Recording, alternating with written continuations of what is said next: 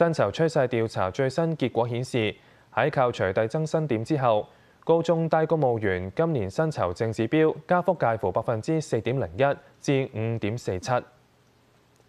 低層公務員加幅最大，達到百分之五點四七，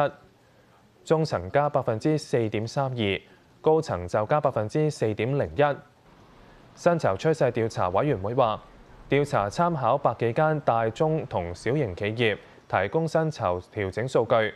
公務員最終加薪嘅幅度，有待行政長官會同行政會議同時考慮整體政府財政狀況以及本港經濟、通脹等因素決定。